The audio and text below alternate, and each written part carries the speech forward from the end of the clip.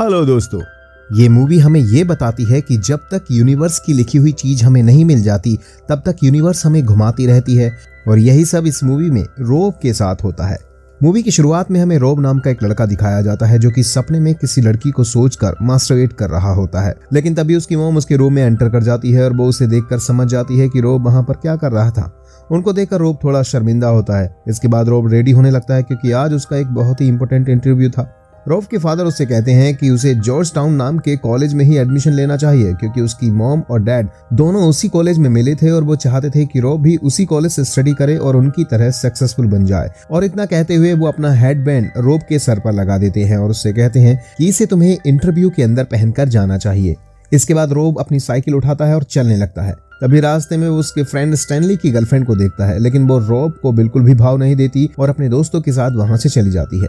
अब Rob school में पहुँच चुका था और वो अपने दोस्त स्टैनली से मिलता है और उससे कहता है कि तुम्हारी गर्लफ्रेंड बहुत ही खूबसूरत है। स्टैनली, जो कि उसका दोस्त है, वो रॉब को आज रात की पार्टी के लिए अपने घर पर इनवाइट करता है। लेकिन रॉब उसके घर जाने से मना कर देता है, क्योंकि रॉब का गैब्रियला के साथ कुछ प्लान्स होते हैं। अब हम रॉब की दोस्त गैब्रियला को देखते हैं, जो कि दिखने में काफ़ी सिंपल होती है और ये दोनों बात करते हुए स्कूल के अंदर आ जाते हैं। तभी कुछ बदतमीज लड़के रॉब को बुली करने के लिए उसके पास आते हैं और उसके ऊपर टॉयलेट वाला स्प्रे कर देते हैं, जिसकी बहुत ही गंदी स्मेल आ रही होती है और इस तरह से रोब अपने इंटरव्यू में नहीं जा सकता था। गेब्रियला काफ़ी बिज़ी तो होती है, लेकिन वो फिर उसकी मदद करने से नहीं चुकती। और वो स्टैनली से कहती है कि तुम थिंग्स फाउंड डिपार्टमेंट में जाओ, तुम्हें वहाँ पर कोई ना कोई पेंट ज़रूर मिल जाएगी।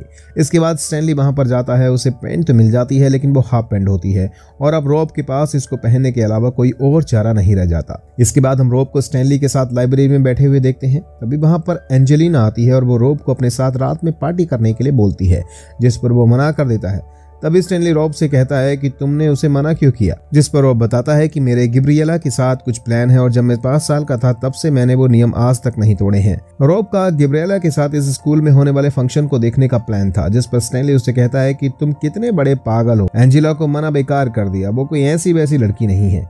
ये भी किसी को स्कूल में भाव नहीं देती है। और अगर वो तुम्हारे साथ चलने को बोल रही है तो तुम इसे अपने लिए गुड न्यूज़ मानो। स्टैनली उसे बार बार पोक कर रहा होता है कि तुम देख लो और तुम्हें एंजिला के साथ जाना चाहिए। हम देखते हैं, रॉब ने अपने इंटरव्यू के लिए सभी नोट्स कंप्लीट कर लिए हैं। और अब उसके इंटरव्यू का टाइम हो चुका था। जब रॉब इंटरव्यू देने के लिए जा रहा था, तभी उस क्लासरूम के बाहर वो अपनी गर्लफ्रेंड गैब्रियला को पाता है, जो कि उसे मोटिवेट करने आई थी, और साथ ही वो उससे कहती है कि मैं जानती हूँ, तुम्हारा सिलेक्शन आसानी से हो जाएगा, क्योंकि तुम्हारी सोच को देखकर तुम्हें कोई भी रिजेक्ट नहीं कर सकता। अब रोब इंटरव्यू रूम में पहुँच जाता है, जहाँ पर उसका इंटरव्यूअर होता है और उसका नाम जैक होता है।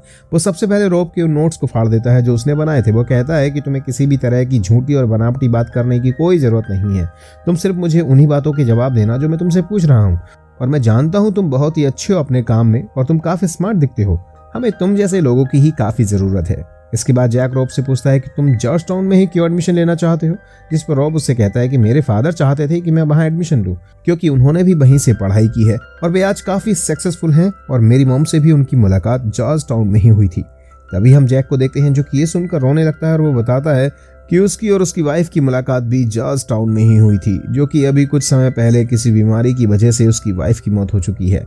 अब रोब जान चुका था कि उसका ये इंटरव्यू खराब हो चुका है। इसके बाद रॉब रूम के बाहर आता है तो वहाँ पर उसे स्टैंडी मिलता है और रॉब के हाव भाव को देखकर समझ जाता है कि उसका इंटरव्यू बहुत ही खराब गया है। इसके बाद स्टैनली एक फ्रेंडशिप स्प्रिट दिखाते हुए उसे फिर से मोटिवेट करने की कोशिश करता है और उससे कहता है कि ये सब तो लाइफ में चलता रहता है। मुझे लगता है तुम्हें एंजेलिना के घर, उसे पढ़ाने के लिए जाना चाहिए। अब ना चाहते हुए भी रोब एंजेलिना के घर जाने के लिए तैयार हो जाता है और उसके बाद वो गिब्रेला से मिलने के लिए लैब में जाता है, जहाँ पर वो कोई एक्सपेरिमेंट कर रही होती है और वहाँ पर जाकर वो उसे अपने इंटरव्यू के बारे में बताता है। उसके इंटरव्यू को सुनकर गिब्रियला भी काफ़ी दुखी हो जाती है और साथ ही रोब उससे कहता है कि आज शाम को मैं तुम्हारे साथ स्कूल प्रोग्राम नहीं देख सकता। क्योंकि मेरा मूड अच्छा नहीं है। गिब्रेलिया उसकी मानसिक स्थिति को समझ जाती है और उससे कोई सवाल नहीं करती। अब हम रोब को एंजेलिना के घर जाते हुए देखते हैं। जब वो उसके घर पर पहुँचता है तो उसे बाहर एंजेलिना का कज़न बैठा हुआ मिलता है। इसके बाद रोब उसके घर के अंदर चला जाता है। एंजेलिना उसे पीने के लिए ड्रिंक देती है और रोब को छूने की कोशिश करने लगती है, जिस पर रोब काफ़ी नर्वस हो जाता है और वो उस ड्रिंक को एंजेलिना के बॉडी पर ही गिरा देता है। तभी हम देखते हैं कि एंजेलिना उसके सामने ही अपने कपड़े चेंज कर देती है और साथ ही वो रोब से कहती है कि जब से वो उसके साथ पढ़ने लगी है, तब से उसकी स्टडी काफ़ी सुधर चुकी है और उसे उसके साथ पढ़ने में काफ़ी मज़ा आता है। इसके बाद रोब एंजेलिना दोनों इंटीमेट होते हैं और यहीं से मूवी फिर से एक लूप में चलती हुई नज़र आती है, क्योंकि जब रॉब किसी लड़की का सपना देख रहा होता है और वो मास्टरबेट कर रहा होता है, तभी उसकी मोम रूम में आ जाती है। और उसके बाद वो रेडी होकर अपने फादर के सामने जाता है तो वो उसे वही बात समझा रहे होते हैं, जो उन्होंने इससे पहले इंटरव्यू के बारे में बोला था। इसके बाद जब वो स्कूल की तरफ़ जा रहा होता है तो रास्ते में उसका दोस्त स्टैनली उससे मिलता है। रॉब उसे टच करके देखने की कोशिश करता है कि वो जो आज देख रहा है, क्या वो सच है? यह सपना। इस पर स्टैनली उससे कहता है कि तुम्हें क्या हुआ है? क्या तुम मुझसे नाराज़ हो? जिस पर रॉब उससे कहता है कि नहीं, मैं तुमसे नाराज़ नहीं हूँ। लेकिन आज जो सब कुछ हो रहा है, मुझे कुछ भी समझ में नहीं आ रहा है। और आज मेरा मन बिल्कुल भी अच्छा नहीं है। इसके बाद रॉब जैसे ही स्कूल के अंदर जाता है, तभी वो बुली गैंग आ जाता है और उसके ऊपर टॉयलेट स्प्रे डाल देता है। और फिर हम देखते हैं कि गिब्रेलिया फिर से स्टैनली को वही सजेशन दे रही होती है कि तुम थिंग्स फाउंड डिपार्टमेंट से इसके लिए कुछ कपड़े लेकर आओ। लेकिन जैसा कि रॉब पहले से ही सब कुछ जानता है तो वो गिब्रेलिया को बोलता है कि मेरे डॉर में भी कुछ कपड़े रखे हुए हैं तो मैं उन्हें पहन लूँगा। और इसके बाद फिर से एंजेलिना उसके पास आती है और वो रोब से कहती है कि अब तुम मुझे आज रात को पढ़ा सकते हो? इस बार रोब ही हाँ कर देता है। फिर वो अपने इंटरव्यू देने के लिए जाता है तो उसे रूम के बाहर गिब्रियला खड़ी दिखाई देती है और उसके बाद वो इंटरव्यू के लिए रूम में जाता है। वहाँ पर वही जैक होता है और उनके बीच वही बातें होती हैं जो बातें पहले हुई थी। उसका इंटरव्यू इसी तरह खराब हो जाता है। अब रोब हेल्थ केयर रूम में अपनी प्रॉब्लम बताकर घर जाना चाहता है। वो वहाँ पर देखता है कि एक लड़के को उल्टियाँ हो रही होती हैं, लेकिन फिर भी स्कूल वाले उस लड़के को घर नहीं जाने दे रहे होते। तो वो उन्हें अपनी प्रॉब्लम नहीं बताता और इस बार तो रोब गिब्रियाला को अपने प्लान कैंसिल होने वाली बात भी नहीं बताता, बल्कि उसे बिना बताए एंजेलिना के घर पहुँच जाता है। और ये फिर से दोनों इंटीमेट होते हैं। और अब हम देखते हैं कि फिर से वही सब चीज़ें रिपीट होने लग जाती हैं। सुबह उसकी मोम उसके रूम में आती है और वही सब फिर से रिपीट होने लग जाती हैं। रोब बहुत ज़्यादा परेशान हो जाता है। इसलिए स्टैनली की मदद लेने के लिए उसके पास जा रहा होता है, क्योंकि उसे कुछ भी समझ में नहीं आ रहा था कि उसके साथ जो हो रहा है, वो क्यों हो रहा है। तभी हम स्टैनली को देखते हैं जो कि अपनी गर्लफ्रेंड के साथ रूम में होता है और वो अपनी गर्लफ्रेंड से कहता है कि क्या हम इस बात को डिस्क्लोज नहीं कर सकते कि हम दोनों रिलेशनशिप में हैं? जिस पर उसकी गर्लफ्रेंड उससे कहती है कि नहीं, मैं अपने स्कूल में नहीं बताना चाहती कि तुम मेरे बॉयफ्रेंड हो, क्योंकि सब लोग मेरा मज़ाक बनाएँगे। तभी हम देखते हैं कि रोब बिना कुछ सोचे समझे वो स्टैनली के बेडरूम में पहुँच जाता है और उसके साथ जो घटनाएँ घट रही होती हैं, वो सब बातें स्टैनली और उसकी गर्लफ्रेंड के सामने बताने लगता है। जिसे सुनने के बाद स्टैनली उससे कहता है कि तुम्हें किसी साइकोलॉजिस्ट को दिखाना चाहिए, क्योंकि तुम पूरी तरह से पागल हो गए हो। तभी उसकी गर्लफ्रेंड स्टैनली से कुछ कह रही होती है। रोब को स्टैनली की गर्लफ्रेंड पहले से ही काफ़ी पसंद थी। अब उसे देखकर वो और भी ज़्यादा अट्रैक्ट हो जाता है। अब हम रोब को स्कूल में देखते हैं, जो कि गब्रियाला के साथ होता है। तभी वहाँ पर बुली गैंग आ जाता है और रोब को बहुत ज़्यादा गुस्सा आता है और रोब उस बुली गैंग की स्प्रे करने वाली गन को तोड़ देता है और उनसे कहता है कि तुम लोग गे हो। इसलिए इस बात को छुपाने के लिए सब लोगों को परेशान करते हो। तभी सबको पता चलता है कि वास्तव में उस ग्रुप में से एक लड़का गे होता है। और रोब अब उन लोगों के स्पोर्ट्स का मज़ाक बनाता है और वो लोग उसके पीछे भागने लगते हैं। तभी रोब उनसे बसता हुआ एक रूम में आकर खुद को लॉक कर लेता है। फिर से डे स्टार्ट होता है, उसकी मोम रूम में आती है। तभी हम रोब को किचन में देखते हैं, जहाँ उसके फादर होते हैं, जो उसे वही कहानी सुना रहे होते हैं, जिस पर रोब उनसे कहता है कि हाँ मुझे पता है, तुमने कहीं पर अपनी पढ़ाई की थी और तुम मम्मी वहाँ पर मिले थे, लेकिन मैं ये सब नहीं चाहता हूँ, जो आप अपनी लाइफ में चाहते थे। मेरी जर्नी कुछ और है और मैं उसे ही जानने की कोशिश कर रहा हूँ। इसके बाद वो स्कूल की तरफ़ जा रहा होता है।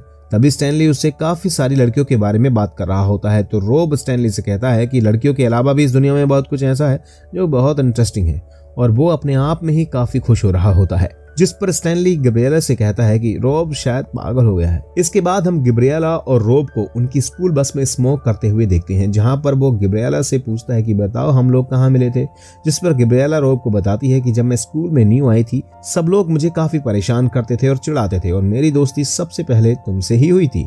इसे सुनने के बाद रॉक काफ़ी इमोशनल हो जाता है और वो गिब्रियाला को हक कर लेता है और उससे कहता है कि हम अपने स्कूल के उस प्रोग्राम को हर साल देखा करेंगे और अपने इस नियम को कभी नहीं तोड़ेंगे। अब हम रोब को जैक के साथ काउंसलिंग रूम से बाहर आते हुए देखते हैं और जैसे ही रोब अपनी क्लास से बाहर जा रहा होता है, तब वो टीचर के साथ बदतमीजी करता है और उसके साथ वो लंच करने के लिए कैफेटेरिया में जाता है और एक लड़की के सामने जाकर बैठ जाता है। और ये लड़की वही थी जिसने उसे फोर्थ क्लास में पंच किया था और उससे अपना बदला लेने के लिए रोब उस लड़की को पंच करके गिरा तो देता है। एक बार तो लड़की ज़मीन पर गिर भी जाती है, लेकिन अब जैसे ही वो लड़की खड़ी होती है तो इस बार वो रोप को बहुत अच्छे से धोती है। और यही कंप्लेंट प्रिंसिपल रूम में भी पहुँच जाती है तो प्रिंसिपल उसे बुलाते हैं और उसे कहते हैं कि थोड़ी ही देर में पुलिस यहाँ पर पहुँच जाएगी और वो तुम्हें अरेस्ट कर लेगी। लेकिन यहाँ पर रोब अपना डे फिर से स्टार्ट करना चाहता है, लेकिन वो प्रिंसिपल के सामने ऐसा नहीं कर सकता था। और उसके बाद वो रूम के बाहर आता है तो वो लड़की फिर से बाहर खड़ी मिल जाती है और तभी स्टैनली उसे कुछ मार कर बेहोश कर देता है और तभी रोब और स्टैनली की नज़र पुलिस पर पड़ती है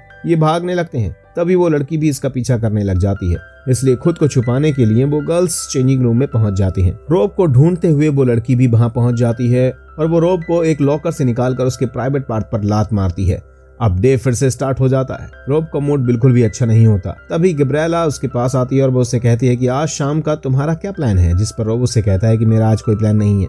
तभी गिब्रेला उस पर गुस्सा होकर कहती है कि तुम इस तरह से कैसे प्लान कैंसिल कर सकते हो? तभी रोब बिना कुछ कहे वहाँ से जाने लगता है। स्टैनली उसे कहता है कि मुझे पता है तुम बहुत ज़्यादा परेशान हो, लेकिन तुम्हें ऐसा नहीं करना चाहिए। और इसी बीच हम एंजेलिना को देखते हैं, जो कि फिर से वही बात कहती है कि आज रात उसे पढ़ाई करनी है। और उसके बाद फिर से इंटरव्यू के लिए रोब को बुलाया जाता है। अब जैसे ही रोब इंटरव्यू देने के लिए जाता है, तब वहाँ देखता है कि रूम के बाहर गिब्रियाला खड़ी हुई नहीं होती है। इसलिए वो रात को एंजेलिना के घर न जाकर गिब्रियाला के घर जाता है और वो गिब्रियाला से सब बातें बता देता है। जो सब घटनाएँ उसके साथ घट रही होती हैं।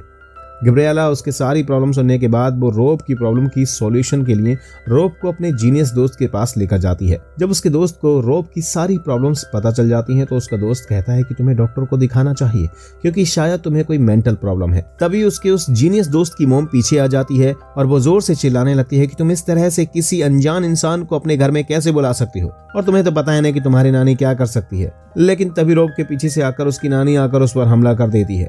जैसे तैसे रोब खुद को बचा पाता है और अगले दिन जब रोब स्कूल में जाता है तो गब्रियला का दोस्त रोब को देखकर डर कर बाहर बाथरूम में जाकर छुप जाता है। लेकिन रोब उसे जल्दी ही पकड़कर बाथरूम के फ्लश में उसका मुँह डालने की कोशिश करता है और उससे पूछता है कि तुम्हारी नानी मुझे जादूगर क्यों कह रही थी? जिस पर वो रोब को बताता है कि शायद तुम पर कोई कर्ज है। इसलिए वो ऐसा कह रही थी।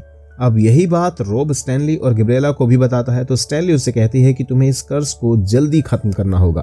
तभी रोब को याद आता है कि शायद वो एंजेलिना के साथ अच्छे से इंटीमेट नहीं हुआ था, इसलिए उसे ये कर्ज लगा है और इस बार वो पूरी तैयारी के साथ जाएगा और अपने इस कर्ज को खत्म कर देगा। अब वो लड़कियों के बारे में पूरी रिसर्च करता है, उसके बाद वो क्लासरूम में आता है, जहाँ पर एंजेलिना कुछ पढ़ रही होती है।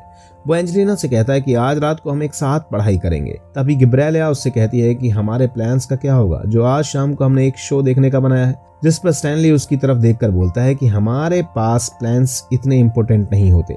इस कर्ज का मेरी लाइफ से खत्म हो जाना इम्पोर्टेंट है। अब जैसे ही रोब स्कूल से बाहर निकलता है तो उसके फादर बाहर खड़े हुए दिखाई देते हैं और वो रोब से कहते हैं कि मैंने सुना है कि तुम अपने इंटरव्यू में नहीं गए थे और तुम्हें यहाँ पर अपना टाइम वेस्ट नहीं करना चाहिए, बल्कि अपने इंटरव्यू पर ध्यान देना चाहिए। इसलिए उसके फादर उसे जैक के पास लेकर जाते हैं, जो कि एक होटल में ठहरा हुआ था। अब जैसे रोब और उसके फादर जैक के पास जाता है, जैक उसके डैड से कहता है कि रोब बहुत अच्छा स्टूडेंट है, लेकिन उसे लाइफ से वो सब चीज़ें नहीं चाहिए जो शायद तुम्हें चाहिए थी। तभी रोब ड्रिंक लेने के लिए जाता है तो वो टीवी पर आ रहा एक शो देखता है, जिसका नाम स्पेलिंग बी होता है। उसे याद आता है कि गब्रियला उससे बहुत ज़्यादा प्यार करती है, और वो इस शो में जाना चाहता था, लेकिन उसने कुछ और प्रायोरिटीज को रखा, जिस वजह से वो इस शो में नहीं जा पाया। और उसके साथ ये सब इसलिए ही हुआ है, वो अपने फादर और जैक के साथ जब गिब्रियाला के घर जाता है तो रोब उसके घर के अंदर गेट से नहीं, बल्कि खिड़की से जाता है। गिब्रियाला उसे देखकर काफ़ी शोक्ड हो जाती है तो रोब उससे कहता है कि मुझे पता है तुम मुझे बहुत ज़्यादा प्यार करती हो और तुम मेरी बहुत ज़्यादा केयर करती हो और साथ ही वो बताता है कि वो एंजेलिना के साथ कभी इंटीमेट नहीं हुआ था और वो सिर्फ़ और सिर्फ़ गिब्रियाला से ही प्यार करता है। रोब को ऐसी बातें करते हुए देखकर गिब्रियाला सोचती है कि रोब शायद पागल हो गया है, इसलिए इतनी बहकी बहकी बातें कर रहा है। और उसकी बात से परेशान होकर दरवाज़ा खोल कर कहती है कि तुम यहाँ से बाहर चले जाओ। लेकिन वो बाहर जाने से मना कर देता है। जब काफ़ी देर हो जाती है तो रोग को भगाने के लिए गिब्रियाले अपने कपड़े निकालने लगती है, क्योंकि इसके बाद फिर से डे रीस्टार्ट हो जाएगा। इस बार जैसे ही गिब्रियाले अपने कपड़े निकालती है, तब इसके फादर रूम में आ जाते हैं। गिब्रियाला के डैड को देखकर रोव काफ़ी डर जाता है और उनसे कहता है कि हम दोनों के बीच ऐसा कुछ नहीं हो रहा था। लेकिन इस बार डे रिस्टार्ट नहीं हुआ था।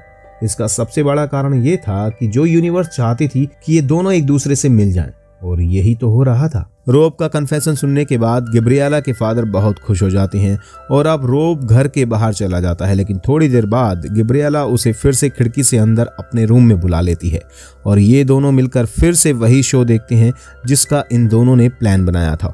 और ये दोनों एक दूसरे के साथ काफ़ी खुश होते हैं। तभी गब्रियाला उसे बताती है कि मैं तुम्हें डे बन से बहुत ज़्यादा पसंद करती हूँ, लेकिन ये बात कभी तुम्हें बता नहीं पाई। और इसी तरह ये दोनों धीरे धीरे एक दूसरे के करीब आने लगते हैं और तभी गिब्रियाला कहती है कि मैंने आज शाम का प्लान भी इसीलिए बनाया था कि हम दोनों एक दूसरे के साथ क्वालिटी टाइम स्पेंड कर सकें।